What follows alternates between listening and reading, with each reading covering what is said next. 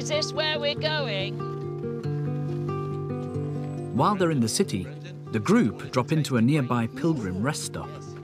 Oh, ah, it's pretty. Hello. Hello. Ah, that's he. It's run by a makalata, who's famed for a knowledge of the Via and what makes a true pilgrim.